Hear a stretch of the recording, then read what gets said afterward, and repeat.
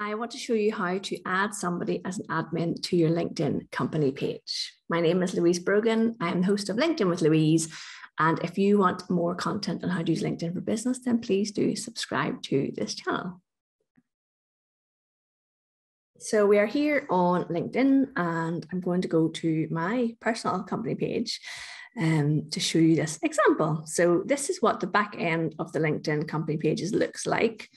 And you will see up at the top here, it says view as member, which is what everyone else sees. And then we are in super admin view, which is in the back end.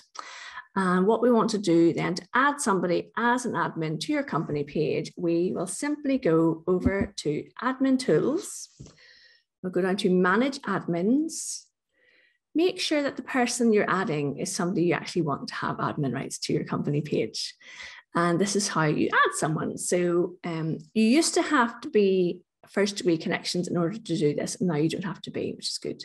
But to add an admin, we are going to add, oops, let's just uh, pick somebody who I know.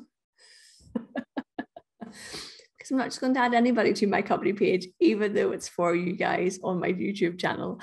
So super admin means that this person has complete control over your page, the same control that you do, um, and can remove you as an admin user.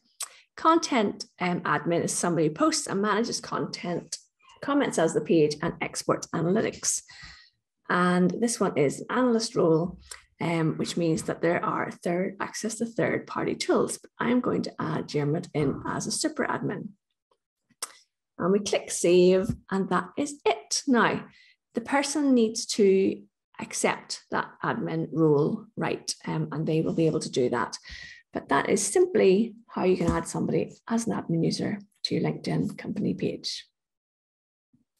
If you find this useful, please let me know below. And if you have any other questions about company pages, then put them in the comments below and make sure you subscribe to the channel.